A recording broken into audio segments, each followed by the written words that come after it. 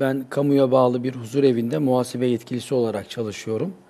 Burada kalan yaşlıların kaldıkları odalarının durumuna göre aylık ödemeleri, gereken ücretleri var. Fakat bazıları bu ücretlerini zamanında ödemiyor. Ücretlerini zamanında ödemeyen yaşlılardan ücretlerini geç ödedikleri için aylık oda durumlarına göre 2 ila 4 e, TL arasında gecikme ücreti alınıyor. Bu ücret dinen caiz mi? Bu işlem faizse bundan bana vebal var mıdır? Allah'a emanet olunuz demiş. Evet. Yine öncelikle e, bir yani yaklaşımla konuya cevap vermek isterim. Huzur evi, yaşlılar e, ki bu noktada aslında e, uygun olan bu kimselerin akrabaları varsa, çoluk çocuğu, torunları varsa bunları kendilerinin bakması. Evet hocam. E, bu bir hizmettir, aynı zamanda bir fırsattır da. Çünkü hadis-i şerifte Efendimiz Aleyhisselatü Vesselam öyle buyuruyor. Bir insan anne babasını veya ikisinden birinin yaşlılığını idrak ettiği halde, yakaladığı halde cennete giremezse ragime enfuhu buyuruyor. O kişinin burnu sürsün.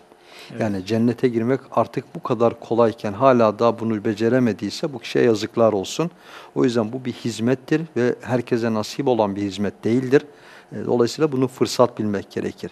Yani e, ebeveynini veyahut da işte babaannesini, anneannesini, ninesini huzur evlerine değil de kişilerin kendisinin ona bakması, ona hizmet etmesi ve o vesileyle de cenneti kazanacağına, Allah'ın rızasını kazanacağına inanması. E, bu şekilde yapmak e, şüphesiz olması gereken gerek örfümüzde gerek dinimizin bir vecifesi olarak da bunu böyle bilmemiz gerekir. Ama bunun yanı sıra olur ya kimsesi yoktur, hiç kimsesi yok yani bakacak kimsesi e, kalmamıştır ki bunu devlet üstleniyor, huzur evlerinde bakılıyor. Ama tabi orada bir paradan bahsediliyor. Bu konuda benim bir bilgim yok. Evet. Yani huzur evleri e, para karşılığından bakıyor? Belki bunların özelleri ayrıdır, e, kamuya ait olanları ayrı olabilir. E, Hocam, ama- emekli maaşlarını oraya bağışlıyorlar. Peki emekli olmayanları ne yapıyorlar? Ben bunu bilmiyorum hocam. Yani illaki bunlara karşı da bir e, sistem vardır. Evet. Ama bir soruya göre meseleye bakacak olursak, yani bunu bir huzur evi olarak değil de e, bir icari olarak e, bir hizmete mukabil ücret alınacak. Ancak ücretin belli bir rakamı var. Bunu zamanında vermemesi durumunda belli bir miktarda fark alınıyor. Bu fark aslında İslam fıkhına göre caiz olan bir fark değildir. Evet.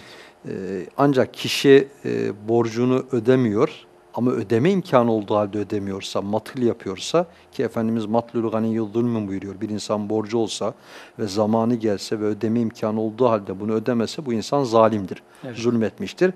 Bu noktada paranın bir değer kaybı varsa değer kaybının tazmin konusunda Hanefi mezhebinde farklı görüşler olsa da bu noktada İmam Ebu Yusuf Allah ona rahmet eylesin görüşü ön plana çıkartılarak bu noktada fetva verilebiliyor. Paranın değer kaybını tazmin. Ama e, işte öyle bir şey ayrım yapmaksızın yani zamanda ödeme imkanı var mıydı yok muydu değil de bir insan zamanda ödemiyorsan yüzde şu kadar fark koyarım tarzında bir akitleşme noktası olursa elbette bu caiz değil. Ama maalesef bu birçok e, kurum bunu uyguluyor. E, kamu kurumları da bunu uyguluyor. Evet. Ve belki hepimizin evinde işte bulunan gerek doğalgaz olsun, gerek elektrik olsun, gerek diğer faturalar olsun bu sözleşme hepimiz imza atıyoruz mecburiyetten dolayı. Ee, peki kardeşimiz diyor ki ben böyle bir kurumda çalışıyorum. Ee, bu işlemlerde oluyor. Bu işlem caiz değildir diyoruz. Ama bu caiz olmayan bu işlemin e, çetelesini tutması, bunun işte üzerinde yoğunlaşması doğru değil. Ee, yani başka bir birime gitme imkanı varsa, kendisini o yöne kaydırma imkanı varsa bunu tavsiye ederiz.